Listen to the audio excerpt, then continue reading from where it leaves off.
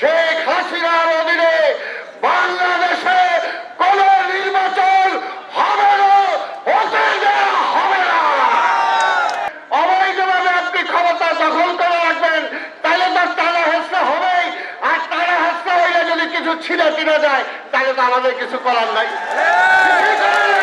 এই আওয়ামী লীগের যেখানেই দেখবেন আপনারা সেখানেই বলবেন এই চোর এই আওয়ামী লীগ চোর এই ভোট চোর রিলিজ চোর সম্পদ চোর সব কিছু চোর হলো আওয়ামী লীগ এই দেশকে বাঁচানোর জন্য আসুন আমরা ঐক্যবদ্ধ আন্দোলন করে তুলি। এখন আন্দোলনের সময়। আমরা কি পুলিশের হামলায়, পুলিশের মামলায়, পুলিশের গুলিকে আমরা কি ভয় পাই?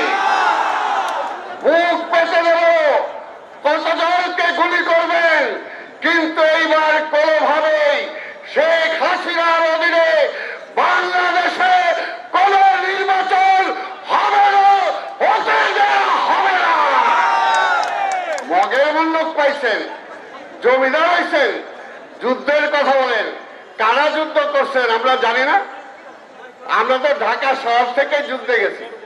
ওইগুলো বেশি বাড়াবাড়ি করেন না। তাই বলতে চাই, এখনও সময় আছে মুক্তিযুদ্ধের পক্ষের শক্তি। আর আমরা কি বিপক্ষের শক্তি নাকি?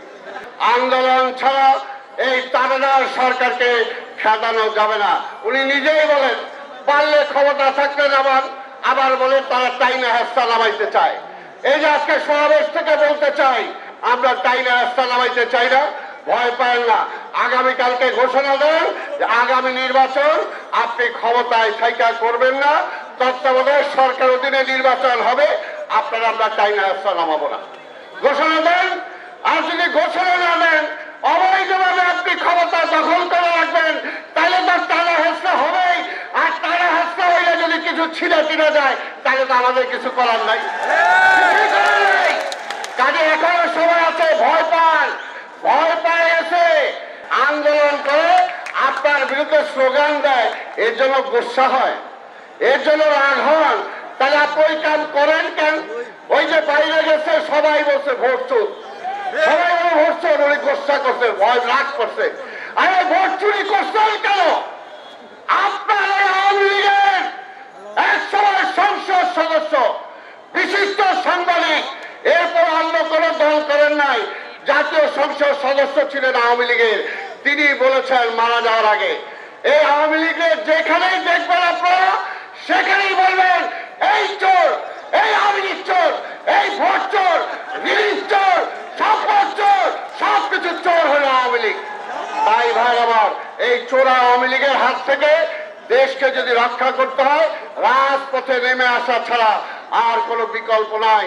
তাই আমাদের নেতা দেশনায়ক তারেক রহমান আজকে অতীতের মতো যেমনি তার মা আমাদের প্রিয় নেত্রী, দেশনেত্রী বেগম খালেদা জিয়ার নেতৃত্বে এই দেশে গণতন্ত্র ফিরে এসেছিল, আজকে আমাদের নেতা দেশনায়ক তারেক রহমান আজকে গণতন্ত্র ফিরে আনার জন্য, মানুষের ভোটের অধিকার ফিরে দেওয়ার জন্য, মানুষের পেটে ভাত দেওয়ার জন্য, বিদ্যুৎ দেওয়ার জন্য, গ্যাস দেওয়ার জন্য পানি দেওয়ার জন্য ভাত দেওয়ার জন্য আজকে যে আন্দোলনের ডাক দিয়েছে, এই আন্দোলনে আসুন, আমরা সবাই শরিক হই। এই ঐতিহাসিক এই মতিঝিল এলাকার যে আন্দোলনের যে ভূমিকা আছে, সেই ভূমিকা আবার আমরা পালন করি।